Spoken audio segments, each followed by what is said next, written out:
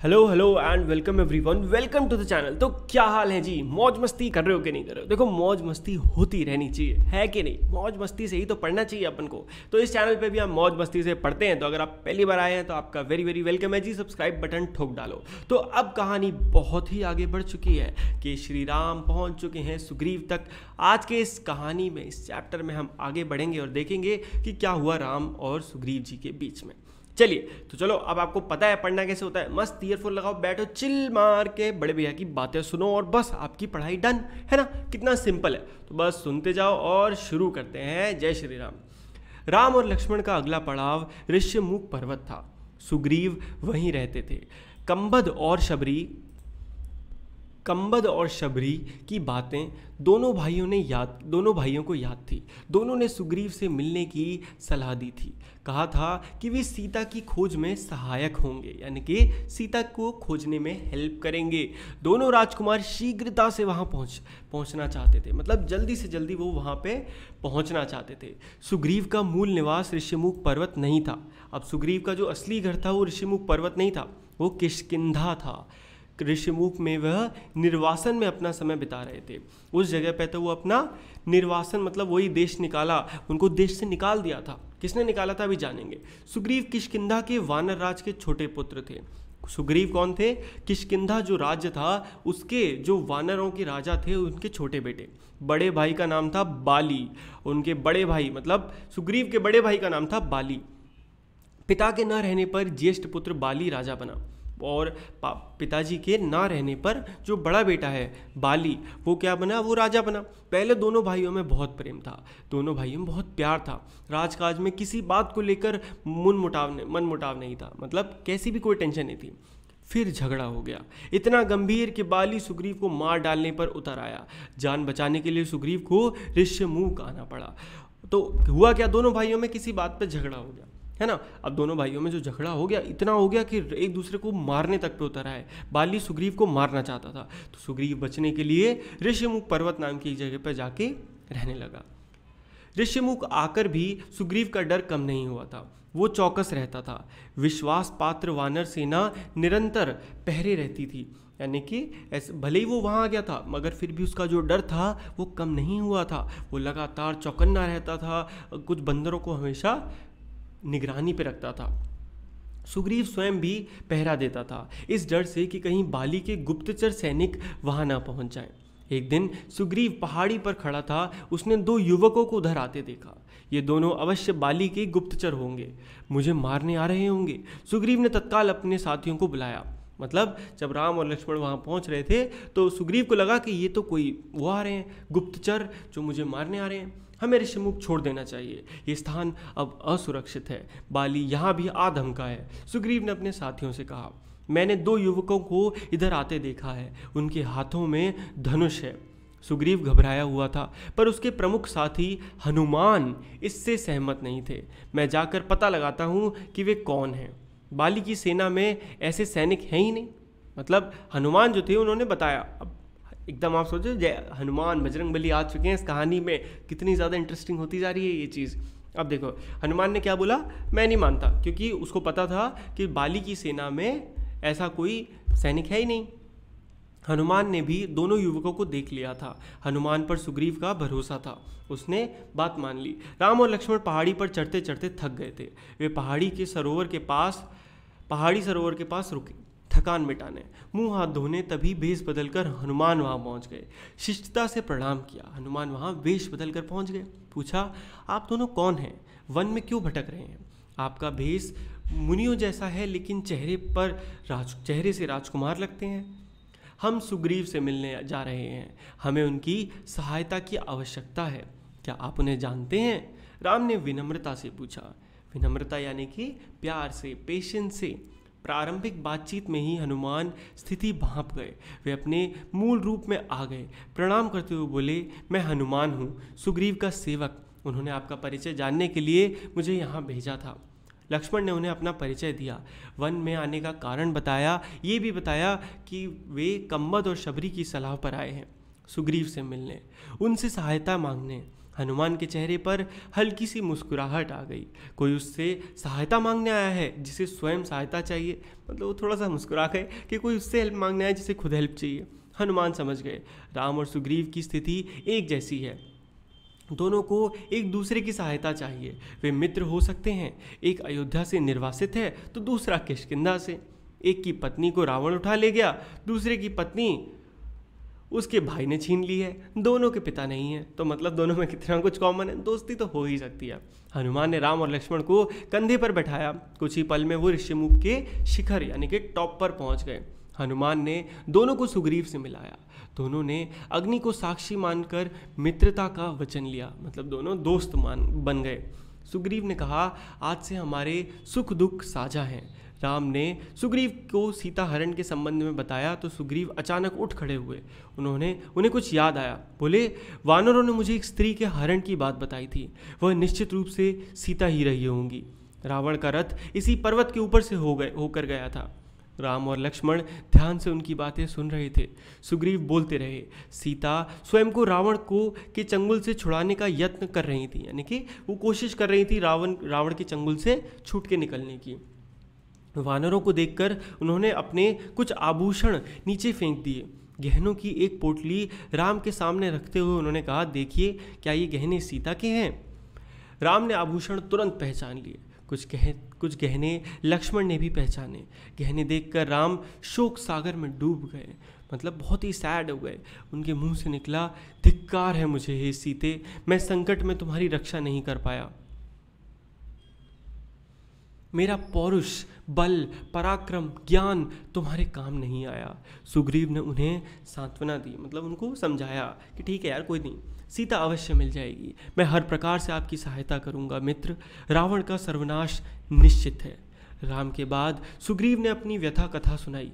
बोल, बाली ने मुझे राज्य से निकाल दिया है। मेरी स्त्री छीन ली। मेरा वध करने की चेष्टा कर रहा है। संकट के समय हनुमान नल और नील ने मेरा साथ दिया। मुझे कभी नहीं छोड़ा। तो अब उसने बताया कि सुग्रीव के तीन और खास लोग थे। कौन कौन एक तो हनुमान, एक नल और नील। ये तीन लोग उसके खास थे। उसने राम से सहायता मांगी। राम बोले, चिंता मत करो मित्र, तुम्हें अपना राज्य भी मिलेगा और अपनी स्त्री भी। राम देखने से, देखने में सुकुमार थे। उन्हें देखकर उनकी शक्ति का पता नहीं चलता था। सुग्रीव को राम के आश्वासन पर भरोसा नहीं हुआ। बाली महाबलशाली है, उसे हराना इतना आसान नहीं है। वो शाल के साथ वृक्षों को एक साथ झको झकझोर सकता है।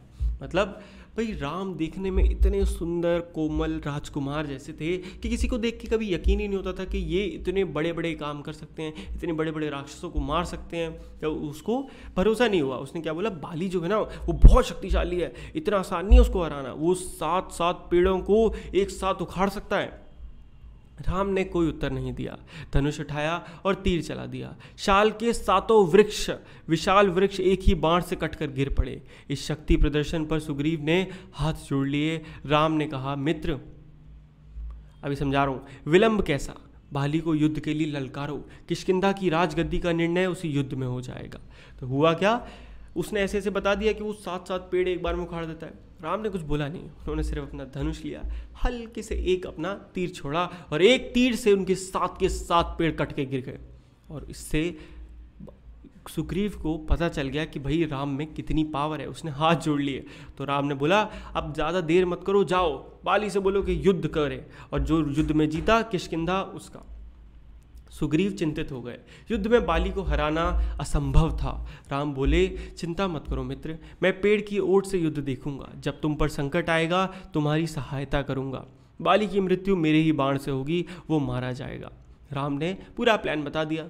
योजना बनाकर सब किशकिंदा पहुँच गए। सुग्रीव आगे था। राम, लक्ष्मण और हनुमान छिप गए थे। मेरे पीछे राम की शक्ति है। सोचते हुए उसने बाली को ललकारा।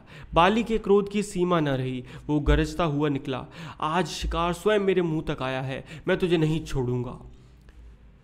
भीषण मल्ल युद्ध हुआ, यानी कि बहुत भयंकर मारा पिटाई हुई मल्ल युद्ध यानी कि हाथ से लड़ाई। दोनों एक दूसरे से गुथ गए, एक दूसरे में दोनों लग गए। युद्ध में बाली भारी पड़ रहा था। लगता था सुग्रीव का अंत निश्चित है। राम पेड़ के पीछे खड़े थे, धनुष हाथ में था, पर उन्होंने तीर नहीं चलाया। सुग्रीव वहाँ से किसी तरह जान बचाकर भागा। सीधा ऋषिमुख पर्वत आकर रुका। राम, लक्ष्मण और हनुमान भी लौट आए। सुग्रीव राम पर कुपित था, यानी कि बहुत ही गुस्सा था। ये धोखा है। आपने मेरे साथ धोखा किया। समय पर बाण नहीं चलाया। मैं नहीं भागता तो आज वो मुझे मार डालता। राम की कठिनाई दूसरी थी। वो दुविधा में थे। उन्होंने सुग्रीव को समझाया, तुम दोनों भाइयों के चेहरे मिलते जुलते हैं। दूर से दोनों एक जैसे लगते हो। मैं बाली को पहचान नहीं पाया। बिना पहचाने बाण चलाता तो वो तुम्हें भी लग सकता था। मैं इस चूक के लिए तैयार नहीं था। मैं अपने मित्र को खोना नहीं चाहता था। लक्ष्मण ने समझा बुझाकर सुग्रीव को तैयार कर लिया। एक और युद्ध के लिए। राम ने कहा, जाओ मित्र, इस बार बाली को पहचानने में चूक नहीं होगी।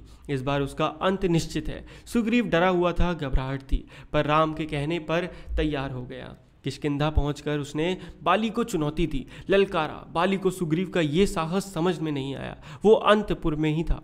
मतलब अंतपुरा में था। अपनी पत्नी तारा के साथ बाली जाने लगा तो तारा ने उसे समझाने का प्रयास किया। जाने से मना किया, बाली ने उसकी बातें, बात नहीं मानी। पैर पटकता बाहर आया, क्रोध में उबल रहा था। मतलब उसकी जो पत्नी थी, बाली की, तारा, उसने बोला कि कुछ गड़बड़ है।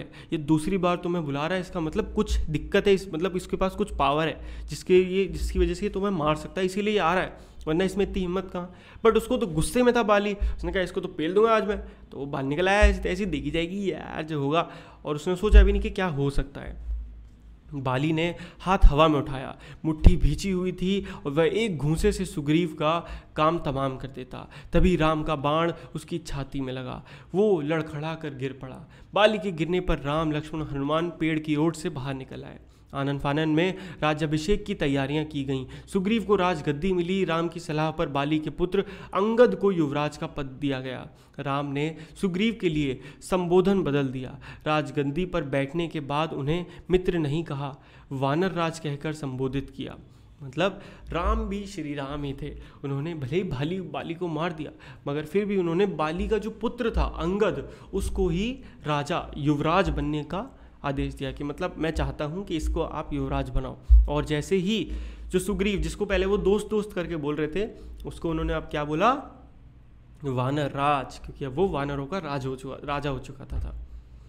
उनके साथ राम ने मना कर दिया। कहा ये पिता की आज्ञा के विरुद्ध मतलब क्या था? देखो सुग्रीव का मन था कि राम कुछ समय वहीं रहें। सुग्रीव चाहता था कि राम कुछ दिन और वहीं रुके रहें। तो उन्होंने बोला कि नहीं, मेरे पापा का आदेश है कि मैं चौदह साल वनवास में रहूँगा तो मैं वन में ही रहूँगा। राम किशकिंदा से लौट आए। वर्षा ऋतु के कारण आगे जाना कठिन था। लंका आरोहण कुछ समय के लिए स्थगित कर दिया गया। इस अवधि में वे प्रश्न वर्ण पहाड़ पर रहे। मतलब इस जगह पर वो वहाँ पे रहे। क्योंकि बारिश आ गई थी और बारिश में इतना बड़ा सागर जो पूरा था श्रीलंका जाना, वो बहुत ही मुश्किल था। सुग्रीव की वानर सेना की वर्षा ऋतु बीत गई, राम प्रतीक्षा कर रहे थे, सुग्रीव की वानर सेना की। मतलब पूरा बरसात का मौसम बीत गया और दोनों राम और लक्ष्मण इंतज़ार कर रहे थे। किसका? सुग्रीव की पूरी वानर सेना का, सीता की खोज के लिए। सुग्रीव ने राज तिलक के दिन राम को इसका आश्वासन दिया था, लेकिन वो अपना वचन भूल गए। रंग रंग में उलझ गए, राम चिंतित थे, दुखी भी। हुआ क्या? उन्होंने वचन दिया था कि जैसे ही ये मौसम खत्म होगा, मैं पक्का आपके पास अपनी पूरी सेना लेकर आ जाऊँगा। बट जैसे ही वो राजा बने, वो इन सब चीज़ों को भूल गए और उन्हें लगा अब क्या करना? अब तो राजा बन गया, मैं छोड़ो। मतलब उनके दिमाग से उतर गई। हनुमान को सुग्रीव का वचन याद था। राज तिलक के दिन वे वहीं थे। उन्होंने सुग्रीव को याद दिलाया। सुग्रीव ने वानर सेना एकत्र करने का आदेश दिया। मतलब जैसे क्योंकि हनुमान को याद था। हनुमान ने तुरंत याद दिलाया। जिस दिन भी जाना था और तुरंत जैसे सुग्रीव को याद है उसने बोला, ओह शिट मुझे तो जल्दी ये काम करना है। तो उसने फटाफट आदेश दिया और सबको बोला अपने सारे वानरों को राम के पास पहुँचने के लिए। ये काम सेनापति नल को सौंपा गया। क्या राम तक पहुंचाना पूरी सेना को? नल कौन था? सेनापति था, सुग्रीव की वानर सेना का। पंद्रह दिन और बीत गए, लेकिन सेना राम के पास नहीं पहुँची। राम सुग्रीव के इस व्यवहार से शुद्ध थे, यानी कि दुखी थे। क्रोध में उन्होंने सुग्रीव के विनाश तक की बात कही। मतलब क्रोध में वो इसका इतना गुस्सा हो गए थे कि उन्होंने तक ये तक बोल दिया कि अब मैं सुग्रीव का विनाश कर दूँगा। राम को चिंतित देख लक्ष्मण से रहा नहीं गया। उन्होंने धनुष उठाया तो राम ने उन्हें रोक दिया। कहा, सुग्रीव को बस समझ, समझाना है। वो हमारा मित्र है। लक्ष्मण किशकिंधा चले गए। सुग्रीव को समझाने। वहाँ पहुंचकर उन्होंने धनुष पर प्रत्यंचा चढ़ाई, डोरी खींचकर छोड़ी। उसकी टंकार से सुग्रीव काँप गया। मतलब इतना भयंकर उन्होंने अपना शक्ति दिखाई लक्ष्मण ने कि सुग्रीव काँप गया। धनुष की टंकार सुनते ही उसे राम को दिया वचन, पुनः याद आ गया। तारा ने सलाह दी कि वे तत्काल जाकर राम से मिलें, क्षमा याचना करें। सुग्रीव ने ऐसा ही किया। राम के पास जाने से पूर्व सुग्रीव ने हनुमान को आवश्यक निर्देश दिए, वानर सेना एकत्र करने का आदेश दिया। इस बार सुग्रीव सेना एकत्र होने तक नहीं नहीं रुके। तुरंत निकल पड़े, लक्ष्मण के पीछे पीछे राम के सामने जाकर भयभीत वानर राज ने उनसे क्षमा मांगी, अपनी चूक के लिए। राम ने उन्हें उठाकर गले लगा लिया। राम और सुग्रीव बात कर ही रहे थे कि उछल कूद करती वानर टोलियाँ वहाँ आ पहुँची। हनुमान के साथ लाखों वानर थे। जामवंत के पीछे भालुओं की सेना थी। जामवंत कौन थे? भालुओं के राजा। उनके पीछे भालुओं की सेना थी। इसके बाद लंकारोहण की योजना बनी। वानरों की चार टोलियों, वानरों को चार टोलियों में बांटा गया। अंगद को दक्षिण दाने वाले अग्रिम दल का नेता बनाया गया। यानी कि दक्षिण से जो दल, यानी कि साउथ की तरफ़ जो सबसे आगे बढ़ेगा, उसका लीडर किसको? अंगद को बनाया गया। उस दल में हनुमान नल और नील भी थे। राम की यही इच्छा थी। उन्होंने कहा, वानरों की सेना भेजने से पहले चतुर और बुद्धिमान दूतों को लंका भेजा जाए। यही उचित है। राम और सुग्रीव की जय जयकार करते वानर अपनी निर्धारित दिशाओं की ओर चल पड़े। दक्षिण जाने वाले दल को राम ने रोक लिया। जो दक्षिण जा रहा था, उसको रोका। उन्होंने हनुमान को अपने पास बुलाया। अपनी उंगली से अंगूठी उठाकर उन्हें दे दी। अपनी उंगली से एक अंगूठी निकाली और किसको दे दी? हनुमान को दे दी। अंगूठी पर राम का चिन्ह था मतलब उसका राम का निशान था। उन्होंने कहा, जब सीता से भेंट हो तो ये अंगूठी उन्हें दे देना। वे इसे पहचान जाएँगी। समझ जाएँगी, तुम, तुम्हें मैंने भेजा है। तुम मेरे दूत हो। दक्षिण की टोली किशकिंधा से चली। अंगद और हनुमान आगे आगे चल रहे थे। चलते चलते वे ऐसे स्थान पर पहुँच गए जिसके आगे भूमि नहीं थी। मतलब वो अर्थ के सबसे मतलब अर्थ कह रहा हूँ सॉरी इंडिया के सबसे नीचे पहुँच गए मतलब जहाँ श्रीलंका और अर्थ, और इंडिया के बीच में ओशन है। तो अब उस ओशन को कैसे पार करते? केवल जल था, विशाल समुद्र, उसकी गहराई अथा थी। मतलब वो इतना गहरा था कि आप ऐसे नहीं कि तैर के निकल जाओ। लहरों की गरज कांपा, कंपा देती थी। समुद्र को देखकर सबका साहस जवाब दे गया। वानर थक हार कर वहीं बैठ गए। वानर राम के बारे में चर्चा करने लगे। अंगद ने कहा, राम की सेवा में प्राण भी चले जाएँ तो दुखी, दुख नहीं होगा। जटायु ने अपनी जान दे दी। हम भी पीछे नहीं हटेंगे। तभी एक विशाल गिद्ध पहाड़ी के पीछे से निकला। वे जटायु का भाई था, संपाति। उसने कहा, सीता लंका में है, मैं जानता हूँ। रावण उन्हें लेकर गया है। आप लोगों को ये समुद्र पार करना होगा। सीता तक पहुँचने का बस यही एक रास्ता है।